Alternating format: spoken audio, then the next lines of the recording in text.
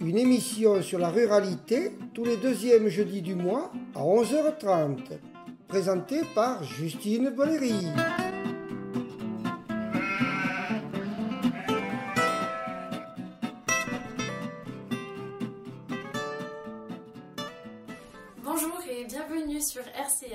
Vous êtes dans Villageois, l'émission sur la ruralité, et nous sommes à Fangeau, à la Maison Gramont, en présence de Nicolas Jauveur.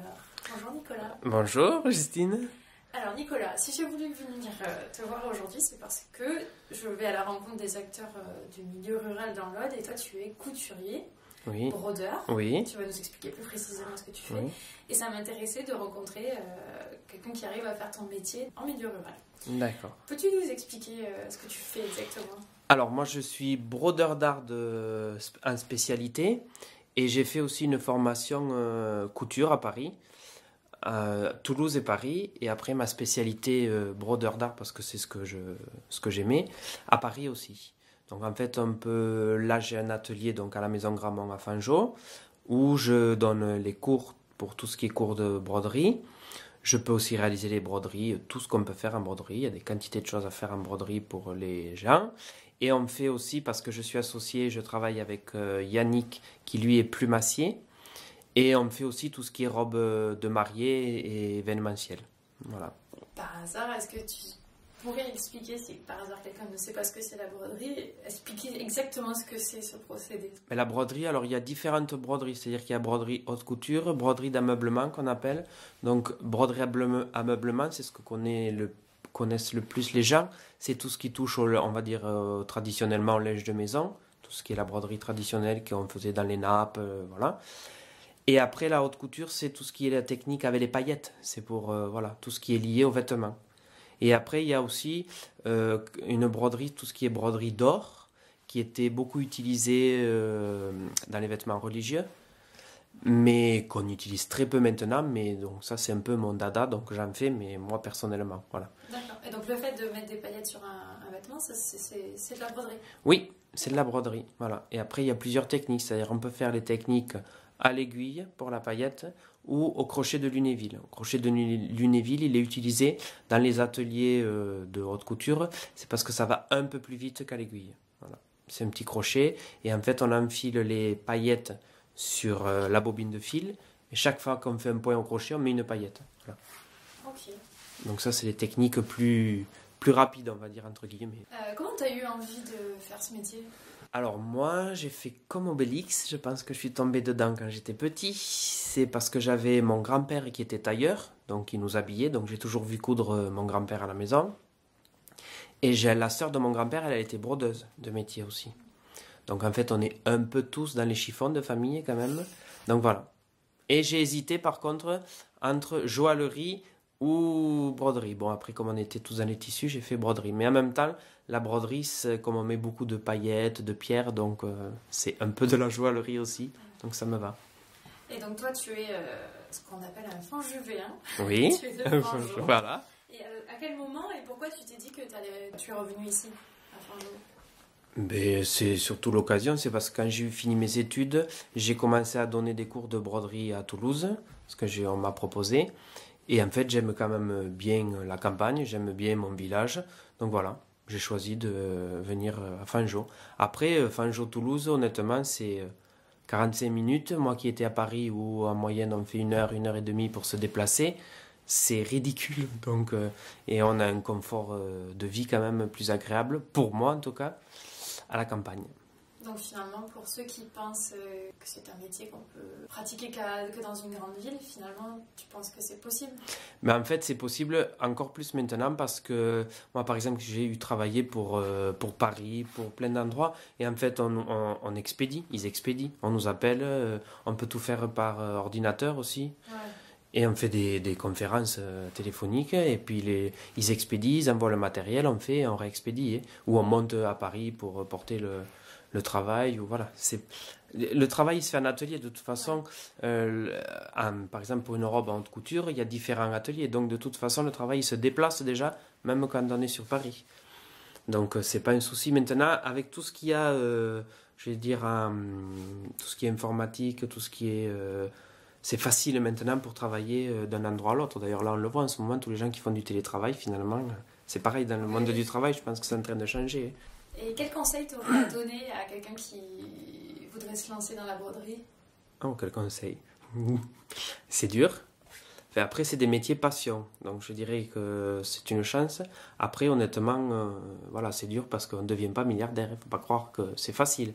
Mais bon, après, je je sais pas. Moi, j'ai choisi de faire un métier passion, donc voilà c'est le prix à payer, je pense. Hein. J'ai vu que tu avais fait, euh, ou peut-être avec Yannick, ton associé, euh, la robe de Miss France. Ah oui, ça on a fait il y a trois ans avec Yannick, la robe de la Miss Occitanie. Oui. Et donc vous aviez fait quoi sur cette robe? La robe entière? Oui, on a fait la robe entière. C'était la robe euh, qui, qui, se sert pour les tenues traditionnelles. Oh, D'Occitanie? Occitanie, mais qui n'avait rien à voir avec, puisqu'il fallait faire des choses plus contemporaines. Et donc il y avait de la plume et il y avait de la broderie. J'ai brodé des croix occitanes, en broderie d'or d'ailleurs. Excellent. Et, euh, et, donc par rapport à, donc à ton métier de brodeur, tu as des commandes. Est-ce que tu peux nous parler de comme les trousseaux de mariage, même si ça se fait plus trop, tu m'as dit, mais est-ce que tu peux nous parler un peu de ce que tu fais euh? Alors bon, tout ce qui est broderie, oui, trousseau traditionnel, on en fait très peu. J'en fais quelques-uns, hein, parce qu'il y a des gens, voilà. Par contre, euh, je fais des restaurations, donc il y a des gens, des fois, qui me portent une nappe qu'ils ont de la grand-mère qui est très travaillée et qui s'abîme, donc on peut restaurer ou, laver, ou voilà, tout ce genre de choses. Les robes de baptême aussi, beaucoup, on m'en a porté pour les entretenir. C'est les robes de baptême, c'est souvent très fragile, et puis il faut amidonner, il faut, donc voilà, les gens, ils les portent, je les remets propres, et puis ils s'en servent, et voilà. Et après, tout ce qui est, ben, si on veut une robe de mariée, il faut passer à l'atelier, on discute avec la cliente, elle nous dit le budget, ce qu'elle a envie, ce qu'on peut lui faire. Voilà. Ça, c'est tout ce qui est pour le service, euh, on va dire, euh, euh, couture. Et après, ça m'arrive, ben, après, pendant le confinement, par exemple, je travaillais pour un tapissier aussi. Voilà. Qui, il avait un client qui avait besoin d'une tenture pour mettre en tête de lit qui était brodée. Donc voilà, moi j'ai travaillé le tapissier. On a vu le client, il est passé à l'atelier voir ce qu'il voulait. J'ai fait les broderies et après j'ai reporté au tapissier qui lui a fini euh, le montage. Euh, voilà. Génial. Et on n'a pas expliqué euh, exactement ce que ton associé Yannick faisait. Est-ce que tu peux parler un peu de ce qu'est le métier de plumassier? Alors, plumassier, en fait, il travaille les plumes et il y a deux catégories. Il y a ceux qui travaillent pour le spectacle, pour tout ce qui est cabaret, et le plumassier comme Yannick qui lui fait tout ce qui est plus haute couture. Voilà. Et il travaille, euh, c'est pas du tout la même façon de travailler. C'est-à-dire le spectacle, il travaille beaucoup sur des structures métalliques renforcées et de grandes plumes, c'est pas fait en détail. Ni que Yannick, lui, travaille, euh, voilà. Il peut faire des fleurs, il peut faire. Euh, il faut un papillon. Voilà, les nœuds papillons, des cols de veste. Et alors après, en plus, il essaye, lui, il a, il a appris les techniques, parce qu'il n'y a qu'une école dans le monde qui est à Paris, pour la plumasserie. Ah c'est vraiment une. Oui. Et donc, il a appris toutes les techniques. Et lui, il essaye de que les gens ne sachent pas forcément que c'est de la plume justement. Il essaye de travailler là-dessus pour que ça pour ça dépoussière entre guillemets voilà la plume. Et c'est ce qu'on a essayé de faire aussi quand on fait des collaborations puisqu'on on fait des, robes ou des accessoires ensemble. On essaye de mélanger broderie et plume et justement que les gens ne sachent pas où est la broderie et où est la plume. C'est pour un peu puisque des fois les gens ont des idées un peu on va dire anciennes ou péjoratives de la broderie ou de la plume. Voilà l'image du chapeau avec la plume d'autruche, tout ça, mais en fait, il y a des tas de possibilités avec la plume. Ou la broderie aussi d'ailleurs. Euh, je te propose qu'on fasse une pause euh, musicale. Alors, c'est que la troisième émission, on a déjà nos routines. Euh, c'est les invités qui choisissent la musique. Est-ce que tu peux nous dire ce que tu as choisi et pourquoi? Alors là, je vais, on va commencer par la marche turque de Mozart, parce que j'aurais aimé faire du piano et que j'adore le piano. Voilà. Allez, tout simplement. Tout de suite.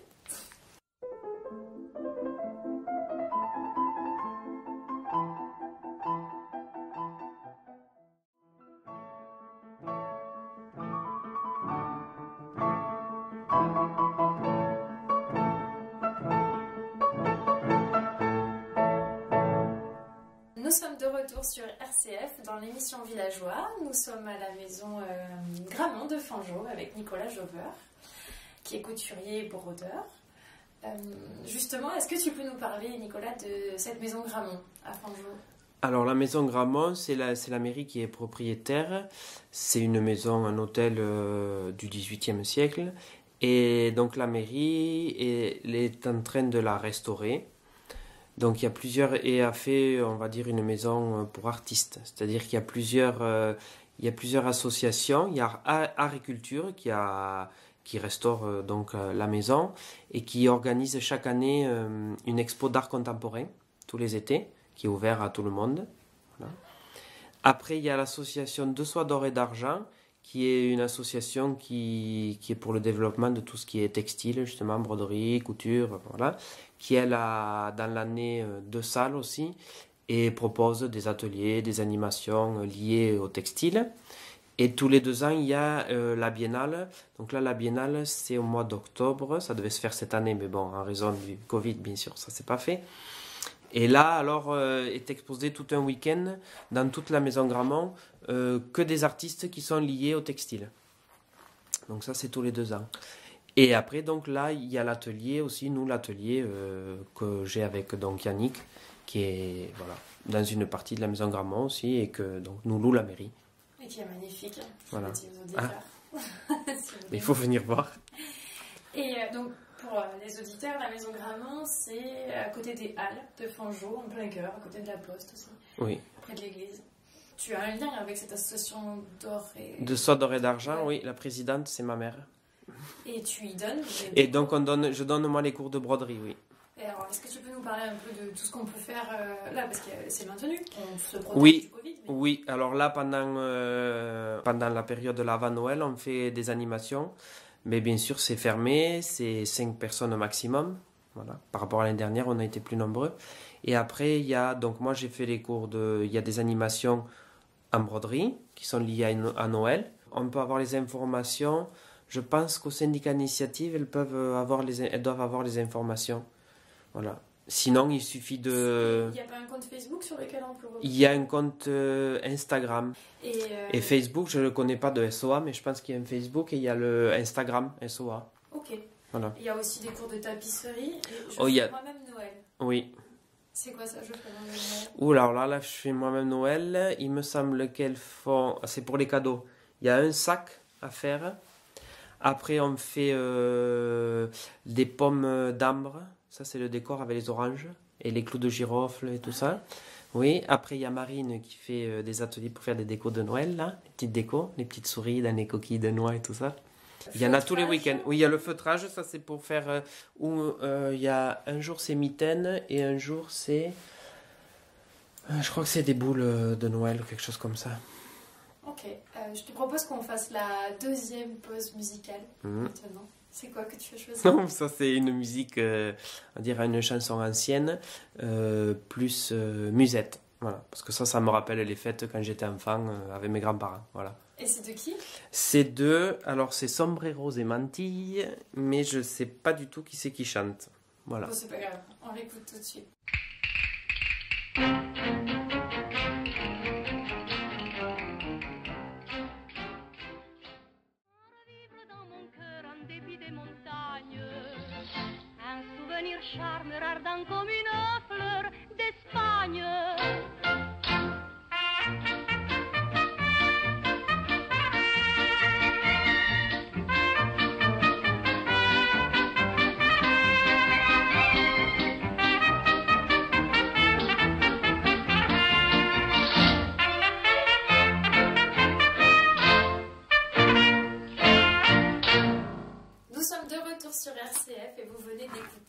Sombrero j'ai oublié le nom.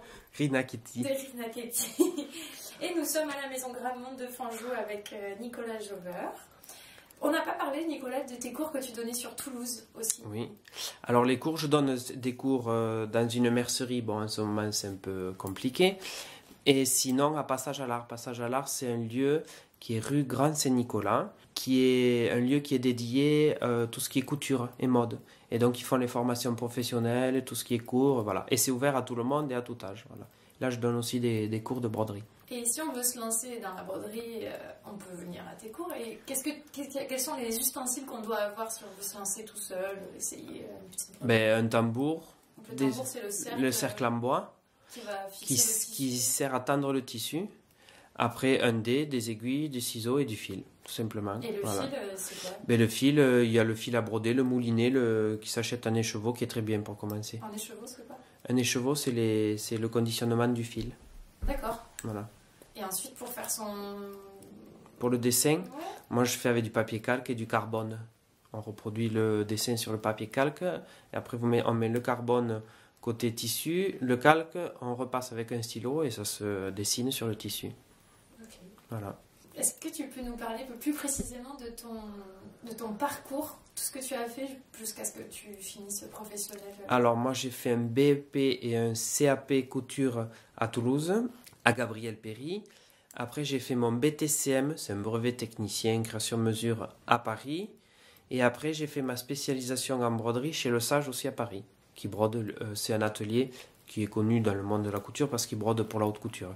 Et justement, est-ce qu'il y a des noms à connaître dans le milieu de la broderie? Des brodeurs célèbres? Qu'est-ce qu'il y a à connaître dans la broderie? Ben, c'est les techniques surtout en broderie. Donc, Donc, ce que tu euh, disais en début d'émission. voilà. euh, Après des brodeurs célèbres, il y a Rébé, qui était de la région d'ailleurs, qui était du Tarn, qui a brodé pour Dior, lui. Lui a fait un travail magnifique. Et qui, pour l'époque d'ailleurs, il est. Alors je me rappelle plus, c'est pas l'île Jourdain, c'est. Mais hum, il a, il avait pas d'atelier à Paris non plus. Il est venu dans le Tarn parce que sa femme était de là et qu'elle a refusé de monter à Paris. Donc euh, il a brodé 50 ans, pendant 50 ans ou 60 ans, euh, dans le Tarn pour les grandes maisons de haute couture. C'est les grandes maisons de haute couture qui se déplaçaient, voilà. Rébé. Et euh, il y a pas mal d'exemples dans la collection qu'a au musée de la mode à Albi. Souvent dans les expositions, il a des robes de Dior et c'est toujours brodé par Rébé parce que c'était le, brodé, le brodeur de, de Dior. Voilà. Dans l'armée, il y a des jolis costumes aussi. euh. Dans l'armée, c'était brodé, euh, c'est les ateliers étaient sur Rochefort, beaucoup, la broderie d'or, tout ce qui était militaire. Et après, tout ce qui était religieux se brodait beaucoup sur Lyon, D'accord. tout ce qui est broderie d'or. Et ils en, ont, ils en font beaucoup encore, la broderie d'or, à- en Andalousie, à Séville, avec les... Moi, je suis ami avec des brodeurs de Séville, euh, pour tout ce qui est Semaine Sainte, puisque eux, ils ont gardé des traditions et ils font des broderies d'or, extra- enfin, des folies. Ah Voilà, oui. ouais. Ok. Ils font encore des choses extraordinaires. Nous, on fait, on- nous, on n'a plus la demande en France de broderie. euh. Où c'est que, avant de se quitter, est-ce que tu peux nous dire où c'est qu'on peut suivre ton actualité? Alors, euh, sur Instagram, à Nicolas Jauvert 13. Et après, euh, alors le Facebook, pas trop, moi. Voilà, je suis pas très Facebook, c'est plutôt sur Instagram. Voilà. Et après, euh, nous, on est ouvert l'été, l'atelier, au public, les week-ends. Et puis sinon, après, euh, quand les gens demandent, si vous appelez, Est-ce on que tu peux reçoit. donner un numéro au cas où On peut t'appeler si on a une robe de mariée Ah Oui, si voilà, pas de souci. Oui, oui, on peut m'appeler. Donne ton numéro si tu veux. Ben, sur mon portable, donc le 06 84 96 49 66. Voilà. Donc si on a un projet euh, Si, de pour plume tout, ou de broderie. broderie, plume, euh, un projet, il n'y a pas de souci. Voilà. Super. Et on reçoit avec plaisir à l'atelier, il n'y a pas de problème. Eh bien, merci Nicolas de Avec plaisir. à la maison Gramont de Fangeau dans ton atelier. Merci à toi. Et à bientôt. À bientôt.